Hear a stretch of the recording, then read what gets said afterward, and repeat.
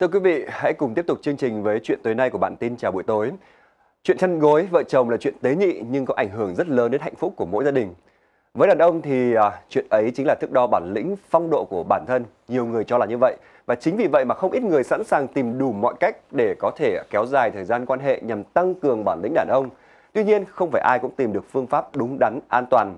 Nhiều người đã phải trả giá cho sự liều lĩnh ấy bằng những kết cục dở khóc dở cười và điều hiểu hơn về vấn đề này Ngày hôm nay trong chuyên mục Chào buổi tối chúng tôi mời tới trường quay bác sĩ Nguyễn Bá Toàn, giám đốc trung tâm tư vấn chăm sóc sức khỏe giới tính, là người hàng ngày tiếp xúc với những bệnh nhân của các vấn đề về sinh lý giới tính và đặc biệt là những vấn đề liên quan đến nam khoa.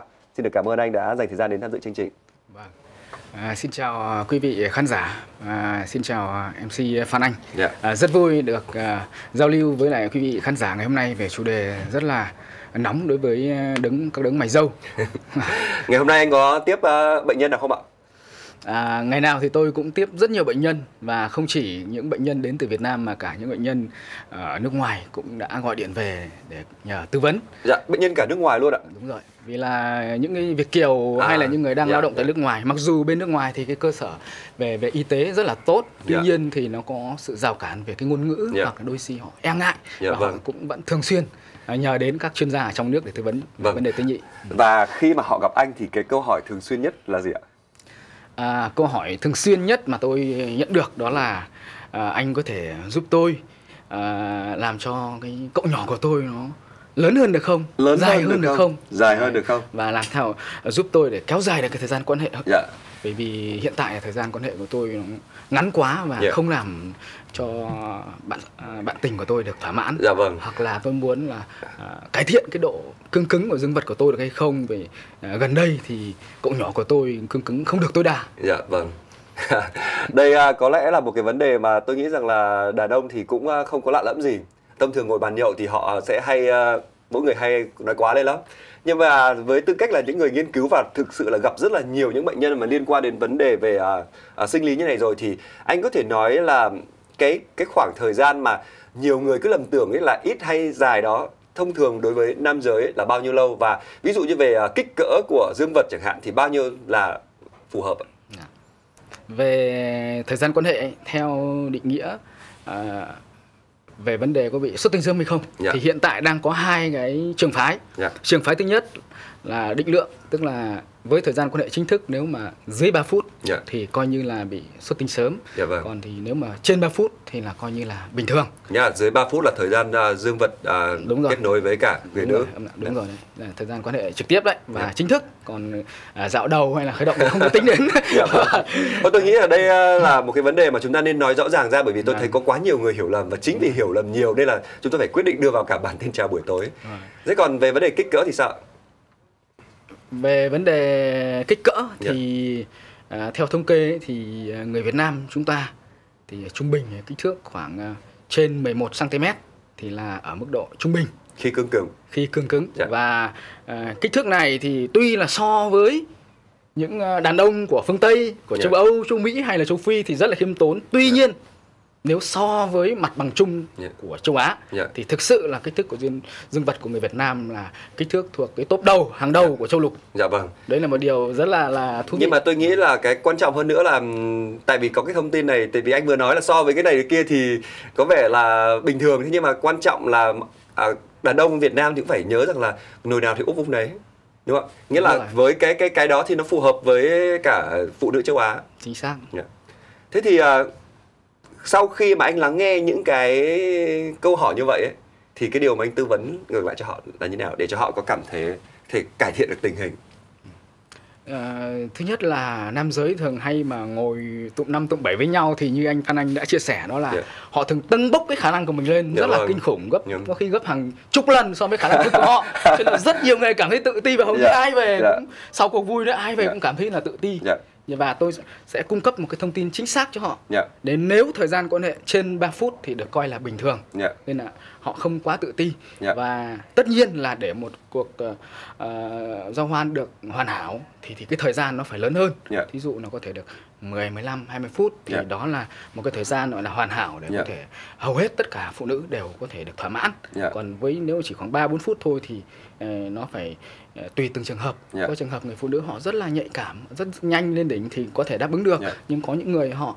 họ chây lì hơn. Dạ vâng. Ờ, thì cái cảm xúc họ lên chậm hơn thì 3 4 phút là không đáp ứng được vậy là người đàn ông phải cải thiện nâng cái thời gian nó lên nữa ừ. hoặc là có thêm những cái kỹ thuật.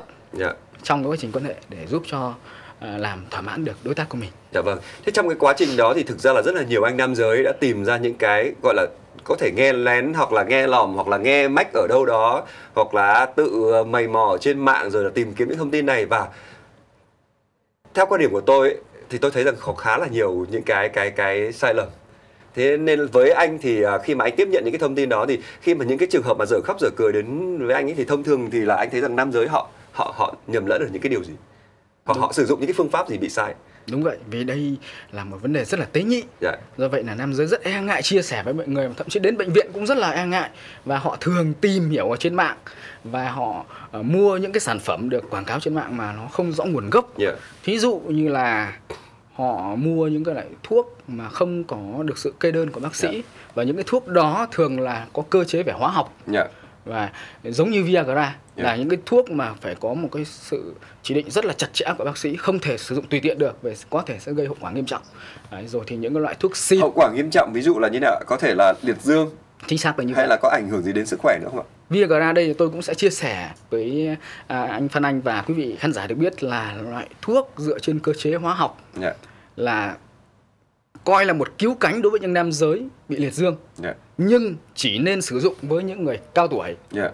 và những người không có vấn đề về tim mạch yeah. bởi vì nó hoàn toàn là cơ chế hóa học không có tác dụng tăng cường sức khỏe yeah. chính vì vậy nếu dùng quá nhiều nhất là nam giới trong độ tuổi còn uh, trung tuổi hoặc là trẻ tuổi mà dùng cái đó quá nhiều thì chắc chắn sẽ dẫn đến liệt dương một ngày không xa yeah liệt là liệt hoàn toàn luôn Chính chứ không còn thuốc nào để cứu được đúng Chính không xác là như vậy. Thế ngoài ra thì ừ. uh, có những cái phương pháp gì mà họ hay sử dụng mà anh cho rằng là cũng nhầm lẫn đúng không ạ?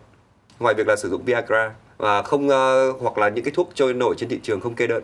Thí dụ như một số các loại là thuốc xịt yeah. hoặc thuốc bôi thì cũng quảng cáo rất nhiều trên mạng và yeah. những cái lợi ích của nó được quảng cáo thì rất là khủng khiếp, rất là ai mà đọc qua thì cũng đều cảm thấy rất là hưng phấn và mong muốn có được cái điều đó yeah. và à, hầu hết thì mọi người đều lãnh phải cái hậu quả không mong muốn. Dạ vâng. Và chúng ta cũng thấy một cái thực trạng là cũng ờ, không ờ, khó khi mà chúng ta nhận được những cái quảng cáo khi mà chúng ta vào một chỗ sang chỗ trang web thì chẳng hạn. Ví dụ như là làm tăng kích thước chẳng hạn. Những cái đó có thể tin được không ạ? À, chính xác là như vậy và à, theo cái kinh nghiệm của tôi thì có nhiều cách để có thể cải thiện được kích thước của dương vật. À. Tuy nhiên với những cái liệu pháp bình thường thì nó chỉ cải thiện được một chút thôi. Yeah. Dạ còn trên mạng này nó có thể là dùng cái gel bôi này yeah. Dạ. tăng lên được 3 cm 5 cm 7 cm thì đó là điều không tưởng và điều không yeah. Dạ. bao giờ xảy ra được chuyện đấy và rất Anh nhiều vừa... người yeah. Dạ. đã gọi đến đến trung tâm của chúng tôi và phản ánh về cái chuyện đấy và họ đã phải trả giá là dương vật họ bị biến dạng yeah. kích thước thì không có cải thiện mà dương vật bị biến dạng rồi thì à, vấn đề cương cứng là bị ảnh hưởng rất nhiều. Dạ vâng. Anh vừa nói là có một số cách thức là có thể uh, giúp uh, cải thiện việc này thế thì tôi nghĩ rằng rất là nhiều người sẽ tò mò đấy bởi vì khi mà họ đã tò mò rồi thì họ muốn được tìm được một cái phương án đúng vâng yeah. Dạ. à, à, thí dụ là những cái giải pháp về dinh dưỡng và luyện tập yeah. Dạ. để cải thiện cái cơ chế bơm máu vào yeah. Dạ. cái khu vực uh, vật hang của dương vật thì yeah. sẽ cải thiện được kích thước hoặc là sự tác động cơ học yeah. bằng tay hoặc bằng những cái thiết bị hút chân không yeah. Đấy, hoặc là dùng những cái thực phẩm chức năng hay yeah. là uh, dùng uh, giải pháp về phẫu thuật thì yeah. đều có thể cải thiện được kích thước và những cái giải pháp ừ, đặc biệt là phẫu thuật thì phải hết sức là thận trọng bởi vì yeah. Dạ. là có thể gây những cái tác dụng phụ hoặc là những cái để lại những hậu quả không mong muốn. Dạ vâng. Thế vậy là xem chừng là muốn biết sâu hơn thì phải nên à, đến gặp bác sĩ đúng không ạ? Và vâng, những vâng. lời khuyên của bác sĩ vâng. và gặp các chuyên gia. À, vậy thì à, cũng nhân dịp này thì anh có một cái lời khuyên nào với đa số các đàn ông để uh, họ cũng có thể được uh, tự tin hơn về chuyện đấy họ cũng có mong muốn rằng là họ có thể uh, có được một cái um, cuộc uh, yêu có thể uh, vừa ý họ hơn vâng thì uh, như tôi đã chia sẻ là đầu tiên nam giới uh, các bạn phải nhận định được là yeah. mình đang ở trong tình trạng nào yeah. có phải là bị xuất tinh sớm hay yếu sinh lý hay rối loạn cương dương hay không yeah. là thứ nhất sau khi xác định mình rơi vào tình trạng bị bệnh rồi thì cần phải xác định là mức độ nặng nhẹ đến đâu.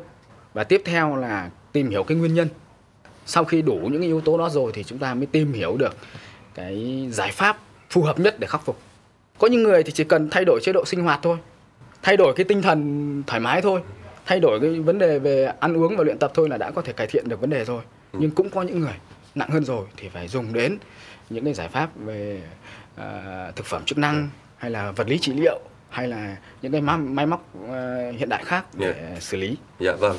Nghĩa là cũng có thể có những người mà chỉ là đơn thuần là cái vấn đề về mặt tâm lý thôi đúng không ạ? Đúng một rồi. vài câu nói thôi là có thể giúp được. Chính xác. À, vâng, à, tôi nghĩ rằng là về cơ bản thì câu chuyện này cũng được là mọi người nắm rõ thông tin rồi. Chỉ một điều tôi hơi thắc mắc một chút xíu là ngày hôm nay anh mang đến ở đây một uh, số những uh, tôi nghĩ rằng là nó sẽ giúp cho nhiều cái người đàn ông tôi nghĩ rằng cảm họ cảm thấy hoảng hơn tự dưng họ sẽ nghĩ đến cái sự so sánh không phải đâu anh Phan Anh yeah. Dạ. đây không phải là biểu trưng cho kích thước của dương vật mà yeah. Dạ, đây là, cái là gì ạ? bộ dụng cụ để à, có thể xác định được cái độ cương cứng của dương vật à. Đấy, đây là độ cương cứng số 1 thì là mềm như sờ vào thì mềm như miếng đậu phụ ạ yeah. Dạ. đó thì độ cứng mức thứ nhất à. mức này là bị bị bị rối loạn cương rất là nặng à. còn mức độ thứ hai là quả chuối chín đã yeah. bóc vỏ yeah. thì đây là uh, mức độ đã bị rối loạn cương tương đối rồi vâng. và đã có độ cứng cứng nhưng mà không đủ mức để có thể tiến hành quan hệ được. Dạ. Còn à, đây là một quả chuối chín và chưa bóc vỏ. Yeah. Dạ. Nếu mà độ cứng chúng ta sờ vào nó được như một quả chuối chín chưa bóc vỏ thì đã có độ cứng để có thể quan hệ được. Dạ. Tuy nhiên chưa đạt được mức độ cứng tối đa. Dạ, vâng. Và cuối cùng là một quả uh, dưa chuột. Dạ. Đấy thì sờ vào nếu cứng được như quả dưa chuột này thì là à. đã đạt được độ cứng tối đa. Nghĩa là đây là một cái cách thức ờ, test thử rất test, là nhanh xem là nhanh. cái độ ờ, cứng cứng của mình là có, ờ, có ổn không đúng không ạ? Không? Vâng và lời cuối cùng thì uh, tôi uh, hy vọng rằng là anh sẽ thất nghiệp để nghĩa là cánh đàn ông sẽ sẽ có uh, sẽ sẽ có một cái tâm lý và cái thể chỉ thể trạng tốt hơn uh, cho những cái cuộc yêu của mình và giúp cho cái đời sống uh, chân gối cũng uh, trọn vẹn hơn. Uh, và điều uh, cuối cùng nữa mà tôi uh, muốn hỏi anh một câu bởi vì thực ra là tôi cũng bắt đầu cảm thấy rằng là mình cũng nhiều tuổi rồi. Đến độ tuổi nào thì người đàn ông bắt đầu nên chú ý nhiều hơn nữa về nâng cao cái thể trạng sức khỏe của mình hay đặc biệt là nâng cao cái uh, sức khỏe về tình dục ạ trước Nếu khi quá muộn mà phải đưa ra một con số về độ tuổi thì yeah. tôi nghĩ rằng là khoảng 20 năm tuổi yeah. để xảy ra là cần phải được quan tâm đến vấn đề 25 tuổi là bắt đầu đã phải để ý rồi ạ. Đúng rồi, chính xác. Thế tôi là tôi nghĩ là mình đã quan tâm trễ mất hơn chục năm. Và thực tế thì hiện nay rất nhiều các bạn trẻ yeah. 16 tuổi độ tuổi sung sức nhất đã bị vấn đề về rối loạn cương yeah. còn xuất tinh sớm thì rất nhiều yeah. rất rất nhiều và hậu quả của các bạn ở đây thì tôi cũng rất muốn truyền một cái thông điệp về vấn đề thủ dâm yeah. và rất muốn là các ờ, phương tiện truyền thông cần phải truyền thông nhiều hơn về vấn đề này bởi vì nam giới uh, hầu như là 100% các bạn yeah. sẽ thủ dâm hoặc đã từng thủ dâm vâng. và trong số đó rất nhiều các bạn lạm dụng cái việc thủ dâm và trong một thời gian dài thậm chí có những bạn thủ dâm đến ba bốn lần năm sáu lần trong một ngày và trong nhiều năm như vậy thì rất nhiều bạn đã dẫn đến tình trạng bị liệt dương. À, nó sẽ ảnh hưởng đến cái sức khỏe tình dục sau này. Chính xác, rất lớn vì các bạn không không có hiểu biết. Dạ vâng, nghĩa là rõ ràng là chúng ta cần phải uh, cảnh báo cho tất cả nam giới ngay từ khi họ còn rất là trẻ đúng không ạ? Đúng à, xin được à, cảm ơn à, bác sĩ đã dành thời gian đến à, với chương trình. À, xin được à, chúc cho anh à, sẽ thành công hơn nữa trong à, công việc của mình. Nói như vậy thôi nhưng tôi nghĩ rằng là à, không chúc anh thất nghiệp đâu ạ, bởi vì là khi mà đến với à, à, trung tâm của anh thì có rất là nhiều vấn đề về nam khoa có thể được, được mọi người quan tâm và được giải đáp. Và khi mà chúng ta càng có nhiều thông tin thì chắc chắn là chúng ta sẽ có một cái đời sống sức khỏe về à, tình dục sẽ tốt hơn. À, một lần nữa xin được cảm ơn anh. Và hy vọng rằng những thông tin mà chúng tôi vừa gửi đến với quý vị thì cũng sẽ giúp cho tất cả các à, cánh đàn ông sẽ tự tin hơn về à, sức khỏe tình dục của mình và sẽ chú ý về vấn đề này sớm đúng lúc để khi mà nhận ra mọi thứ thì đã không phải là quá muộn. Và xin được cảm ơn sự quan tâm theo dõi của quý vị. Xin chào và hẹn gặp lại trong những chương trình lần sau.